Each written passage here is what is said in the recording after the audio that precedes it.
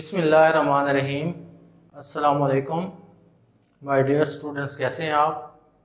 امید کرتا ہوں آپ خیریت سے ہوں گے۔ تو نائنتھ کلاس، جیسے میں آپ کو پہلے وائرس کے بارے میں بتا چکا ہوں اسٹیٹس آف وائرس جو وائرسز ہیں، وہ کسی کنگڈم کے اندر ان کو شامل نہیں کیا گیا۔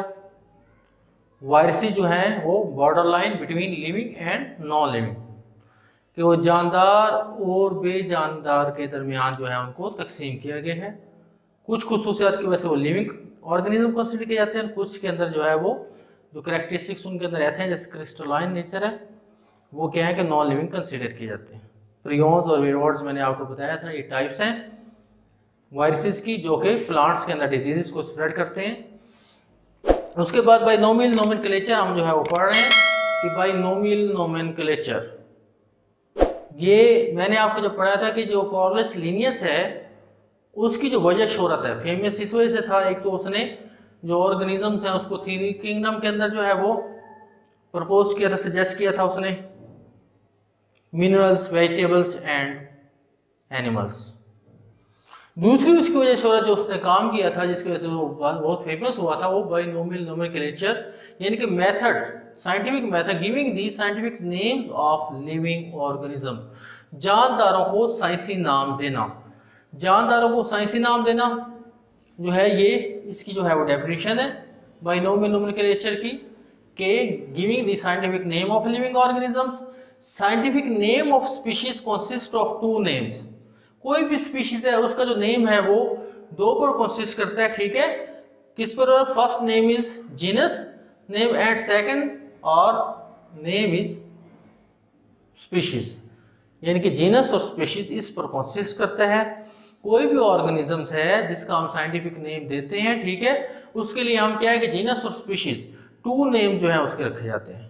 پہلا جینس ہوتا ہے فرسٹ اینڈ سیکنڈ کیا ہوتا ہے؟ اسپیشیز کورلس لینس جو کہ سویڈش سائنٹسٹ تھا، اس نے جو ہے بائنومل نومل کلیچر جو ہے وہ انٹروڈیوس کرایا. اب ہم دیکھتے ہیں جو بائنومل نومل کلیچر ہے، اس کا ریٹن، اس کو لکھنے کا طریقہ کار کیا ہے؟ یونیورسل جو اڈاپٹ کیا گیا ہے، ٹھیک ہے، وہ کیا ہے کہ scientific names are usually printed in italic letters italic letters کے اندر جو ہے، ان کو پرنٹ کیا جاتا ہے اٹالک لیٹرز کے اندر جو ہے، ان کو پرنٹ کیسے کیا جاتا ہے جیسے کہ ترچھی لکھا، یہ تھوڑی سی اگر آپ دیکھیں، یہ ہومو ٹھیک ہے dot sapiens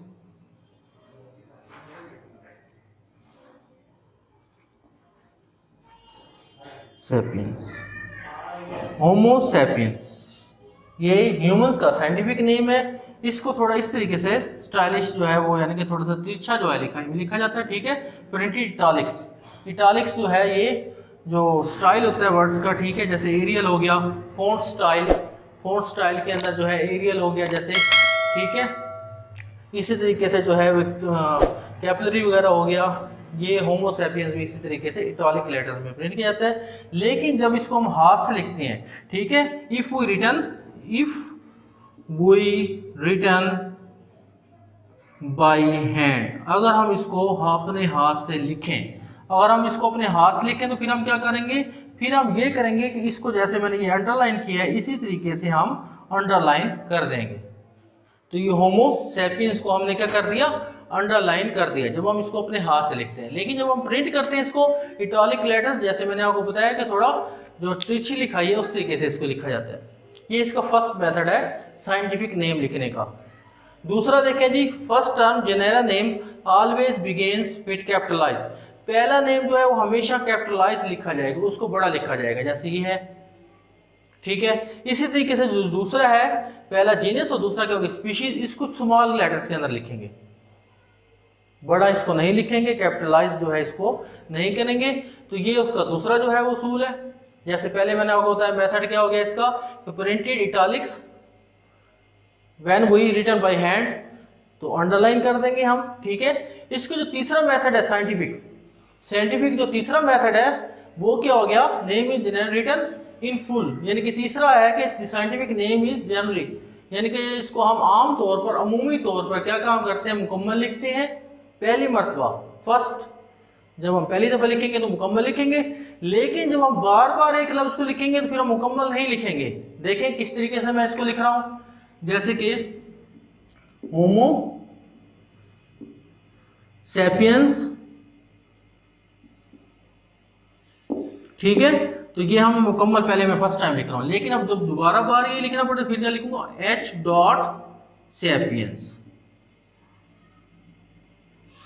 اس طریقے سے یہ لکھا جاتا ہے، ٹھیک ہے؟ تو فرسٹ ٹائم جب ہم اس کو لکھیں گے، تو اس وقت کمپلیٹ لکھیں گے، ٹھیک ہے؟ لیکن ایک ورڈ بار بار لکھنا آ رہا ہے، تو ہم اس کی ایبریویشن کر دیں گے۔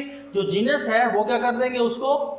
مختصر، ٹھیک ہے؟ جیسے ہومو کی جگہ ہم نے کیا لکھ دیا؟ ایچ ڈاٹ یہ سیپینس پورا لکھ دیا۔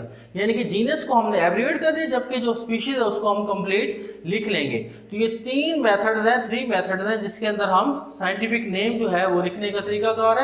کوئی بھی آرگنیزمز ہیں، اس کو سائنٹیفک نیم کس طریقے سے دیے جاتا ہے اب ہم دیکھتے ہیں کہ یہ سائنٹیفک نیم ہے، ہمیں ضرورت کیوں پیش آئی؟ کیوں ہم سائنٹیفک نیم جو ہے وہ دے رہے ہیں آرگنیزمس کو؟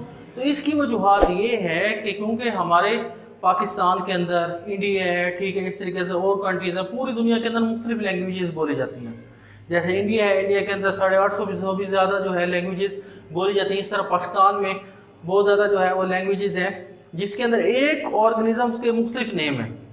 ہے ایک آرگنیزم لیکن اس کے جو نام ہے وہ کیا ہے کئی نام ہے ٹھیک ہے؟ تو اسی طریقے سے اب اس کا جو ہے ایک ہی نام رکھ دیا گیا یونیورسل ایک نام ہے۔ جیسے پیاز ہے پیاز کو ہم ایلیم سپا جو ہے اس کا سائنٹیفک نیم ہے۔ جیسے آپ کو میں نے پڑھایا تھا، ٹھیک ہے، کہ مسٹرڈ پلانٹ مسٹرڈ پلانٹ کا جو ہے وہ سرسوں کے پودے کا سائنسی نام کیا ہے؟ برسیکا کیمپیسٹس۔ اسی طریقے سے جو مینڈک ہے فروغ ہے، اس کا سائنٹیفک نیم کیا ہے؟ رانا ٹگرینا۔ جہاں بھی چلے جائیں گے بیولوجیکلی جو ہے بائی نومی نومل کلیچر کے جو ہے وہ، اس میں جو ہے آرگنیزمس کا سائنٹیفک نیم ہی ہوگا۔ تو بیولوجیکلی اب ہم دیکھتے ہیں، جیسے اب اس کی سگنیفیکینس میں نے آپ کو بتایا امپورٹنس کیا ہے؟ اس کی سب سے بڑی امپورٹنس یہ ہے کہ ایک ہی جو ہے تمام جو اور ملکوں کے اندر، تمام علاقوں کے اندر جتنی بھی لینگویجز ہیں، ایک ہی نام ہے سائنٹیفک ایک آرگنیزم کا دیکھیں جیسے اگزامپل کے طور پر اونین ان اردو اس پیاز پیاز جو اونین ہے، ٹھیک ہے، اس کو اردو میں پیاز کہتے ہیں۔ لیکن مختلف جو پاکستان کی علاقائی لینگویجز ہیں، اس کے اندر جو اس کا نیم ہے گنڈا جیسے پنجابی کے اندر اس کو کیا کہتے ہیں، گنڈا کہتے ہیں۔ سرائکی کے اندر بسل بسل اس طریقے سے جو ہے اس کے ڈیفرنٹ جو ہے وہ نیمز ہیں۔ ہے ایک آرگنیزم کیا والا؟ اونین پیاز۔ لیکن اس کے جو نیمز ہیں وہ مختلف ریجنز کے اندر مختلف ہیں، کیونکہ ہر لینگویج میں، ہر کلچر کے طور پہ کلچر کے اندر جو ہے اس کا مختلف نام ہے۔ اسی طریقے سے جو کوا ہے، جس کو ہم ہاؤس کرو کہتے ہیں اس کو بلیک برڈ بھی کہا جاتا ہے، اس کو ریون بھی کہا جاتا ہے۔